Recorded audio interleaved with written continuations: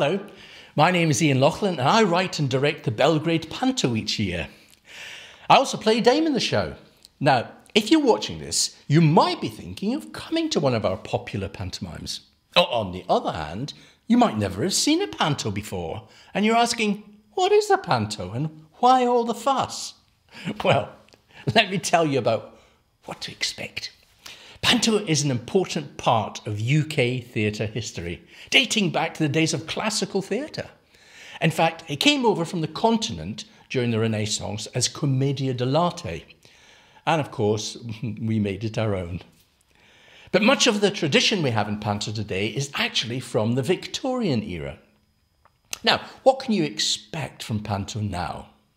Well, there's our heroine, uh, the principal girl, who is strong and kind. Sometimes she's a princess, but not always. There's also a hero character, and tradition states that he is played by a young woman. Hmm, she's the principal boy. I hope you're keeping up. Now, this young hero is brave and good at heart. He helps the heroine, often falls in love with her, and they get married at the end of the story. Now, the comic characters are also very important in the panto. There's always a dame, uh, that's the character I play, and she is played by a man in a frock. in fact, the dame has lots of outrageous dresses. She's very funny and gets involved in silly routines with the comic. Now, both of them always cause a bit of chaos through the show. And the comic is usually played by a young male who is prone to getting muddled up and saying stupid things. Although he's always getting into trouble and being told off by the dame, he's very friendly and very lovable.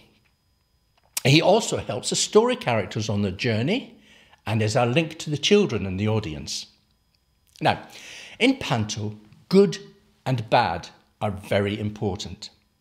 As you look at the stage from the auditorium, the right hand side of the stage is always the bad side, and the left hand side of the stage is always the good side. The baddie can be male or female, and the two baddest baddies of all are Abanazar in Aladdin and Carabosse, the evil fairy in Sleeping Beauty. Now, often there is a good fairy who uses her magic powers to help the heroes defeat the baddie. But the most important thing of all to know about Panto is that the audience get involved. yes. So if you come to see our Panto, you'll be able to cheer the hero and the good fairy and boo the baddie sing along, clap and shout and, and shout out, it's behind you in the ghost scene. You can also disagree with some of the characters and shout out, oh no, it isn't, and oh yes, you did. now, as our panto at the Belgrade is a traditional panto, we often have a UV scene. Well, that stands for ultraviolet. It's a special kind of light where we can make huge glow in the dark creatures appear. We also have a very silly slapstick scene in which the dame and the comic, and sometimes the dad from the audience, get covered in slosh. Now, our panto always ends with a song sheet when everyone sings along.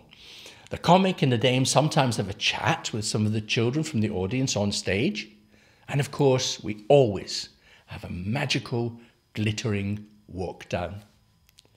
There's nothing like a panto for fun, magic, a great story, and spectacle. So why not come and see us at the Belgrade Theatre here in Coventry? You will have a brilliant evening. Oh, yes, you will.